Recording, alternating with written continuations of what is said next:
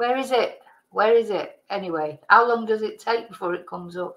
Anyway, I want to go on to something else. We'll see if it comes up. If not, I'm going to have to try it again or something.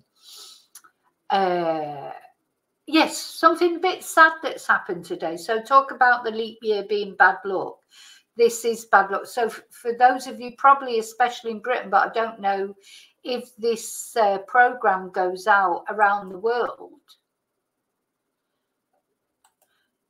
But um, something very sad today is um, for any of us that like the hairy bikers one of the hairy bikers has passed away.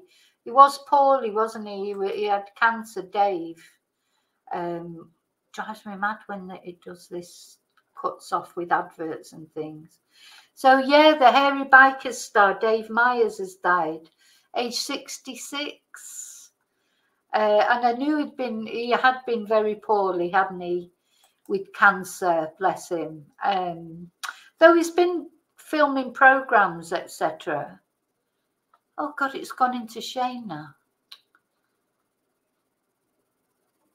What the hell is going on? Oh, it's a nice dress actually. But uh, I don't want to be looking at the dresses. I want to see about Dave. Um, yeah, and his co-star Si King, who actually Cy is my favourite. He's another one who's taken. Otherwise, I could have been proposing it to him today because uh, I just think it. I've always thought it would be really nice to be married to one of the hairy bikers because you would never have to cook anymore, and they're funny as well, so they keep you entertained. Um, yeah, so very sad uh, and he, you know, he had been, um, he was two years ago, he was uh, diagnosed with cancer. And apparently, his death has been announced by his co star and fellow motorcycling uh, chef, Si who said he was with Myers when he died peacefully at home. Oh, he was with him. Oh, it was yesterday, Dad. So they're announcing it today um, that's nice that it was with him because they were very good friends. You know, they genuinely were good friends. But sometimes these partnerships on the TV, etc., they're not actually good friends, are they? But apparently they really are good friends. Um, so very sad that. Uh, so his wife Lillian, his family, and close friend David were by his side. King said in Si said in a statement on X. I will miss him every day and the bond and friendship we shared over half a lifetime. I wish you Godspeed, brother. You are, oh, I'm going to start crying in a minute. You are and will remain a beacon in this world. See you on the other side. Love you. So it's a bit sad news today. And of course, when he, you could see that he'd lost a lot of weight, you know, since he was diagnosed with cancer because he was, you know, a little bit, let, uh, uh, how do we put it? So, you know, a little bit chubby, let's say, but more to love, all the more to love. Um, and then, of course, he was diagnosed with cancer, and he did he did lose weight because chemotherapy does that to you, doesn't it? So he shared that he had cancer on the hairy Biker's Agony Uncles podcast in May 2022, but he did not specify what type he was suffering from. And in interviews in 2023, he said there were times during his chemotherapy uh, treatment when he'd been too ill to walk and unable to ride his motorcycle due to be being unsteady. Now, this is just remind me, I haven't lit my candle yet today that I normally uh, have a candle on, but I had classes it earlier before this live. So I'm going to light the candles this time. So the candle, not only for Samantha and for finding Rachel Marin's killer and for Anna Knežević, who uh, is being, hopefully her case has been sorted in Spain. Um, a little candle for Dave as well. So he returned to filming uh, towards the end of the year. At least, at least he got to do one last series as well. But you can see he's lost an awful lot of weight there.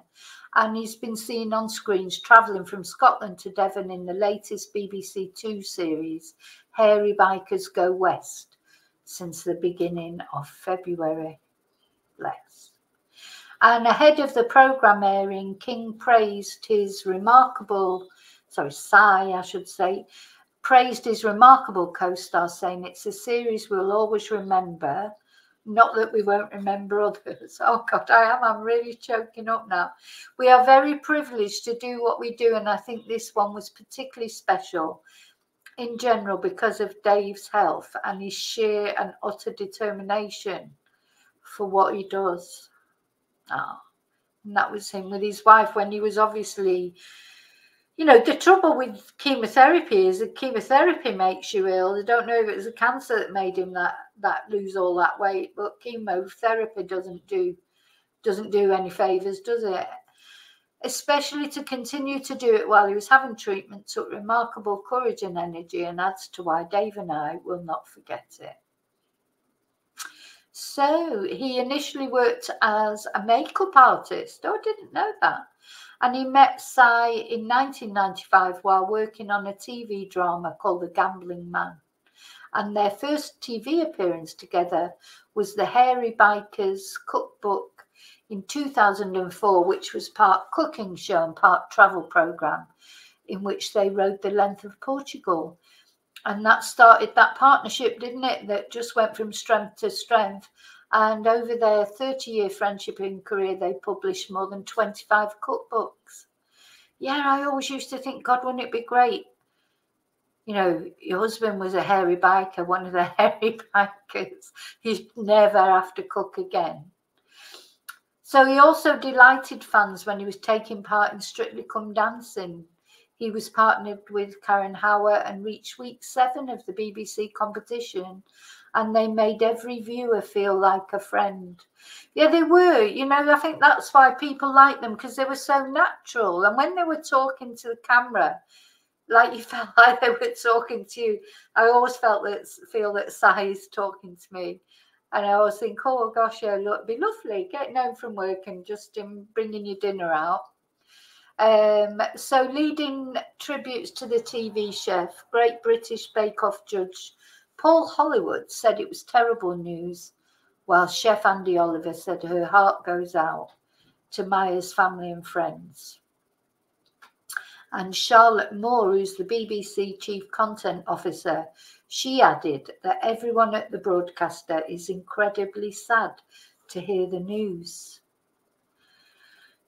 So very sad, you know, uh, just seems like he was a lovely man, doesn't it? So Dave made cooking a truly joyful adventure and he shared that joy with millions, she said.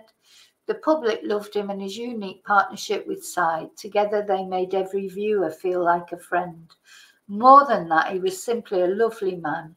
Our thoughts go out to his family and many friends. So a little bit sad news today, but um, you know, it, uh, uh, you know, what can you say? I mean, just uh, sending love and prayers out to his family and friends, and you know, I'm glad he got to make that um, that last series. You know, so it's uh, we're going to miss him. You know, I do, I do. I think thing is when somebody like that, uh, it's like when Matthew Perry went uh, from Friends. So I think if you've grown up with, or I haven't grown up with the hairy bikers, but you know, watch them and you do feel, don't you? You don't know them, obviously. You don't know, you know, but you feel like you know them, and it, it does feel like losing somebody you know.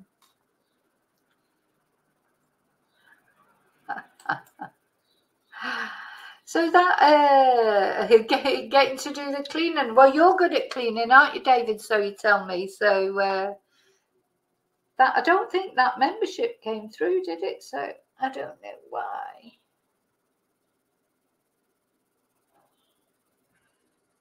don't know why it didn't come through. That's happened to me before. That's another thing because once I bought five memberships and only four came through.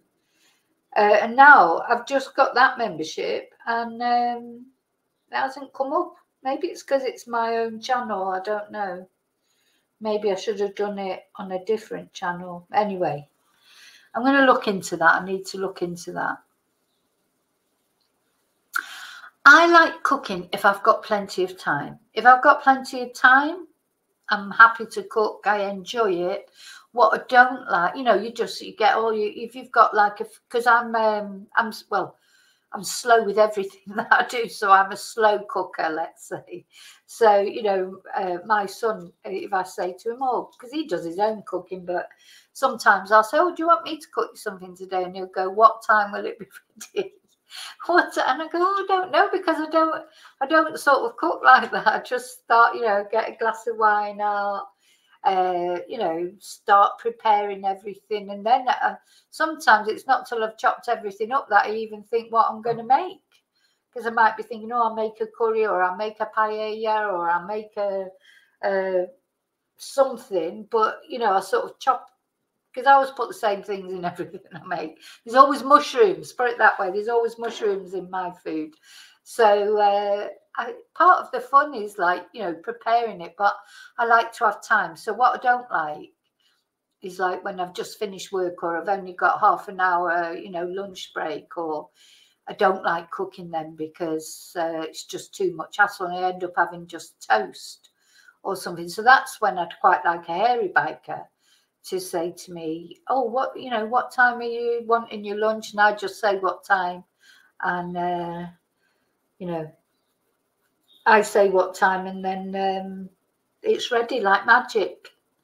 But uh, yeah, my son is he's a good cook. Uh, he's occasionally he doesn't cook for me very often, but occasionally he does. He makes pancakes or you can make pasta or, and stuff like that. You can make chicken Kiev. He can make a lot of things. He's quite interested in cooking when he's in the mood for it, you know. But I think you have to be in the mood for cooking, don't you? Because that's me as well.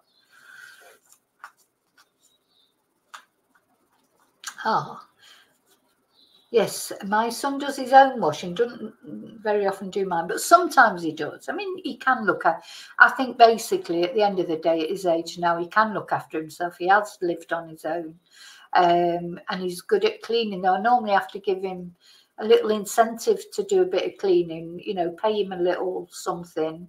Um, but that's fine because uh, better than me paying somebody else to do it, which costs me more um because sometimes I just don't, you know, my house, it's not really, it's not what you wouldn't call it a big house, but it's on a lot of floors. So there's a lot of stairs and there's a lot, it's just constant. As soon as you've cleaned one floor, you've got to clean the next one. Or then the stairs are dirty because we have got three dogs. So, you know, dogs cause a mess.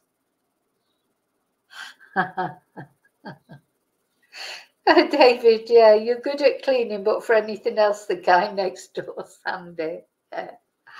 ah, yeah, yeah, cooking, cleaning, uh, you know, DIY. I need someone for DIY as well.